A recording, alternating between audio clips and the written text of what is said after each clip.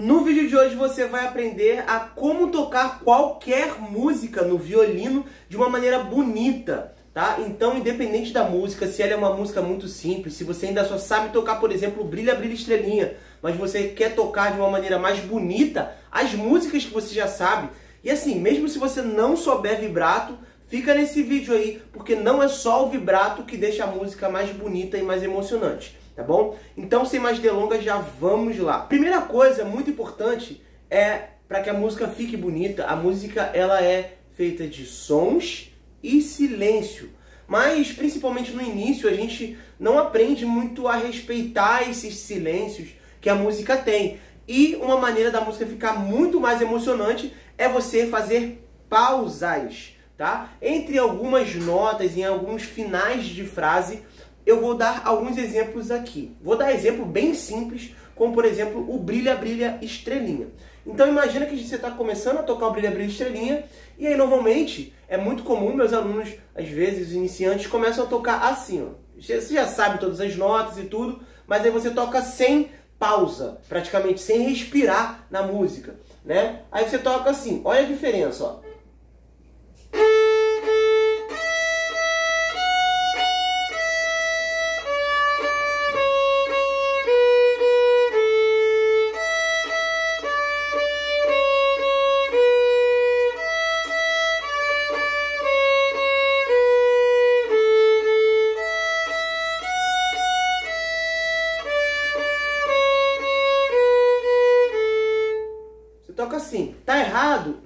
Está. Todas as notas estão certas, tá tudo no lugar certinho.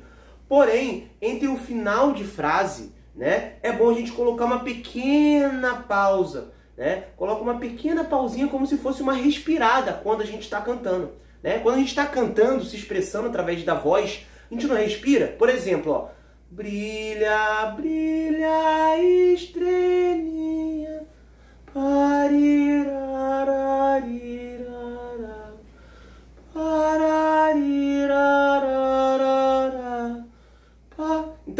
Essas respiradas você também usa como um recurso que fica muito mais emocionante. Olha só agora fazendo com as pequenas pausas durante essa música.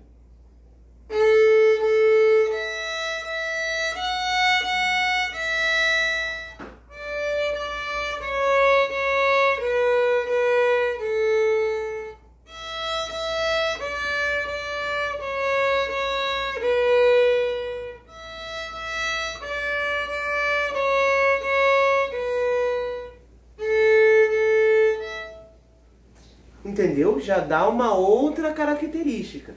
É claro que é, fiquem até o final aí, porque uma coisa vai complementar a outra. Cada elementozinho que eu vou falando aqui vai complementar isso também da pausa e tudo mais, beleza? Então essa é a dica número um aí. Respeite as pausas. Respire na música. Né? Vou dar um outro exemplo também do, da música Como é Grande Meu Amor por Você. Por ser uma música, principalmente músicas românticas, quando a gente respeita a pausa, ela fica muito mais emocionante. Olha só, primeiro eu vou tocar ela sem nenhuma pausa, né? não vou tocar a música toda, só um pedacinho, bom?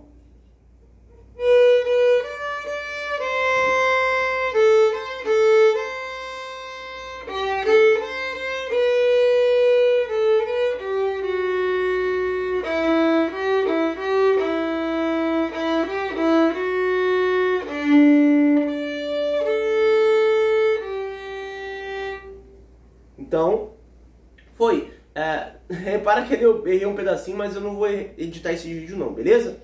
Então, o que aconteceu? Não fiz pausa nenhuma, certo? Agora vou tocar com pausa, pensando como se fosse uma voz, né, de uma pessoa cantando, ok? Então, vamos lá.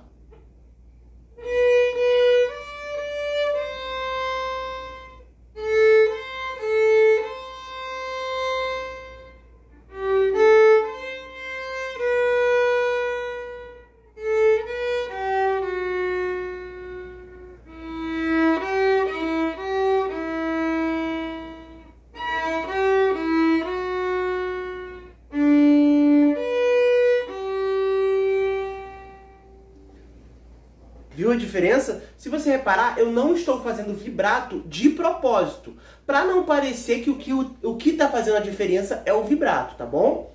Uh, é claro que se você fizer isso e você souber fazer um vibrato, vai ficar mais bonito ainda, né? Por exemplo,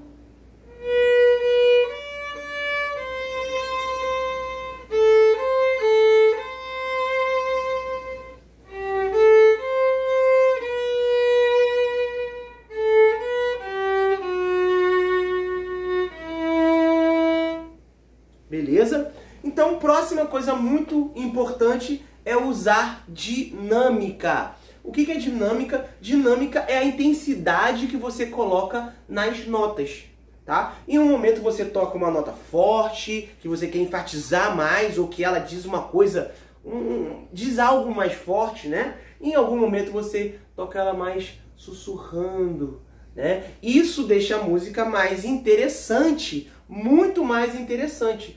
E aí quando você combina as pausas com um vibrato, se você tiver, né, claro, e você combina com as dinâmicas, assim, fica muito bonita a música. Então vou usar o mesmo exemplo do Brilha Brilha Estrelinha para colocar dinâmicas, né, e colocar essas pausas, tá bom? Estou usando o exemplo do Brilha, Brilha Brilha porque todo mundo que começa a tocar sempre começa por ela, né? E a gente pode aplicar esses conceitos primeiro nas músicas mais fáceis, e aí depois você é, aplica nas músicas que, de maior dificuldade, tá? Primeiro para você acostumar com esse conceito, tá? Então, agora colocando... É, primeiro eu vou colocar um pouquinho de dinâmica e aí depois eu vou colocar dinâmica e pausa na Brilha Brilha Estrelinha, tá bom? Então, reparem que em alguns momentos eu vou tocar uma nota mais forte, outra nota eu vou ir diminuindo até ela quase sumir, depois voltando com mais intensidade né? É assim que eu vou tocar o Brilha Brilha Estrelinha agora. Percebe, percebam só.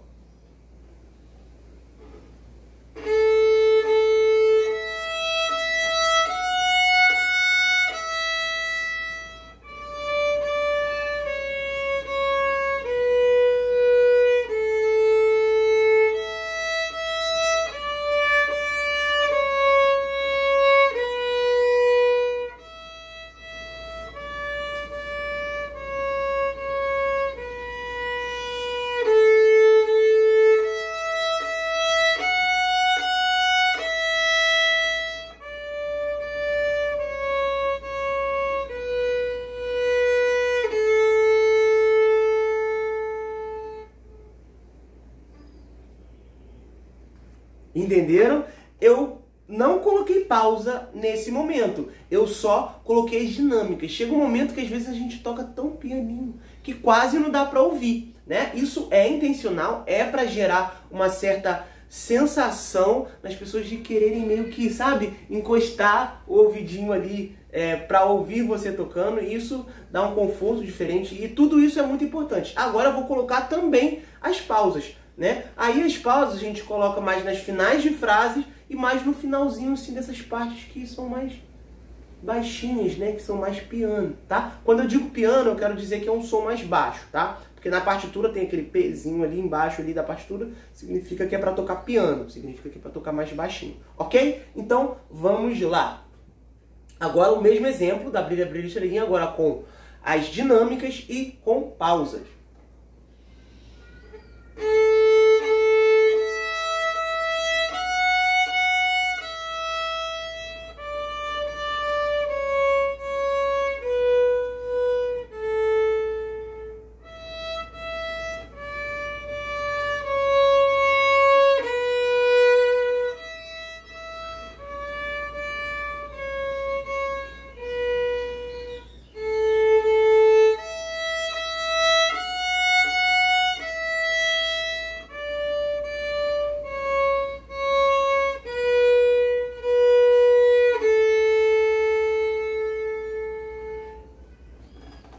Muito bem? Então é isso. A música Brilha Brilha Estrelinha, ela, se eu não me engano, ela na partitura mesmo ela não tem nenhuma pausa, né? Ela é meio que direto mesmo. Então ela, claro que você não vai exagerar nas pausas, vai ser um tempinho só de e continuar, né? Um tempinho de respiro. As músicas que tiverem pausas, presta muita atenção naquela pausa ali, o tempo, o tempo de duração dela e respeite aquela pausa.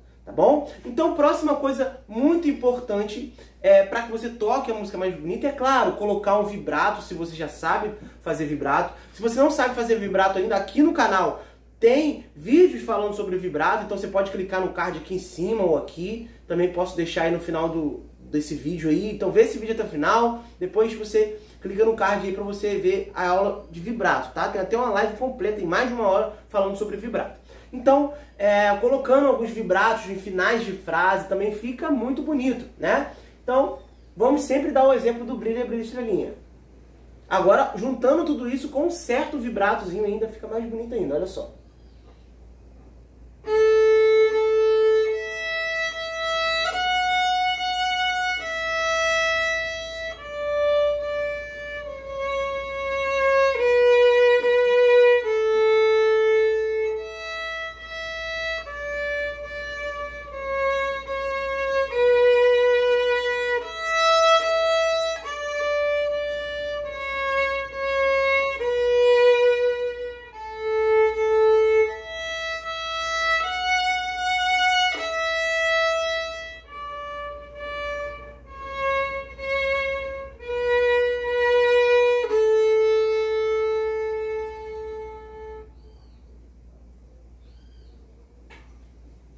Ok? É, repara que no final da música, eu não finalizo a música e paro, né? Olha a diferença que dá quando a gente finaliza uma música com um ar de silêncio, dá uma calma na gente, né? Então imagina que eu terminasse o brilho, brilho, estrelinha assim, ó.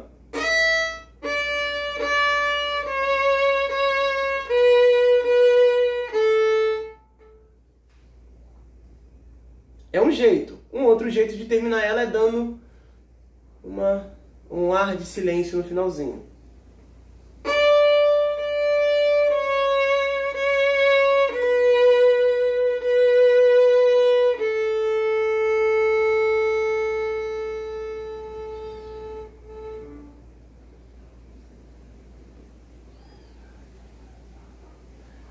Repara que eu fiz um diminuendo e fui tirando o arco e deixando a nota soar.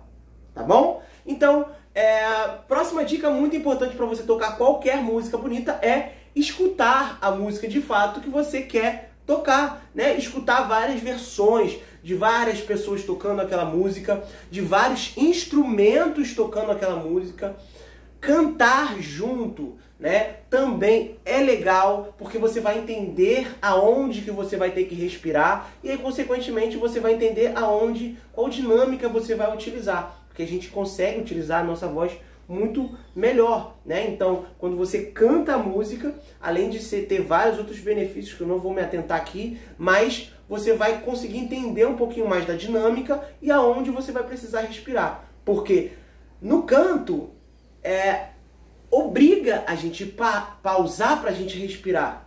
Então a gente acaba sabendo exatamente o ponto que a gente tem que respirar. Agora, na hora que a gente está tocando aqui, né, a gente está tocando aqui, respirando por aqui, então muitas vezes a gente toca direto, sem até respeitar as pausas que está escrito na música, né? E a gente não consegue causar aquela emoção, aquela sensação que a gente gostaria, tá? Então, assim, é, resumindo, respeite as pausas, né? Respire nesses momentos, é, use dinâmicas e escute várias versões. Escutando várias versões, você vai conseguir, poxa, entender o que, que fica bonito, o que, que não fica naquela música que você está querendo interpretar. É, se você ainda não é inscrito no canal, já se inscreve aí no canal, clica no gostei também, compartilha com outros amigos que estão aprendendo a tocar violino. E também qualquer coisa pode me mandar uma mensagem aí Pessoal, eu sempre, assim, dá um trabalheira, mas eu sempre respondo todo mundo, tá? Respondo todo mundo. Se você também quiser ser meu aluno particular, também meu número de telefone está aí embaixo, tenho algumas vagas ainda, né? Meu número de telefone está aí embaixo, pode me mandar mensagem, beleza? É isso daí, assista também os próximos vídeos e até mais. Fui!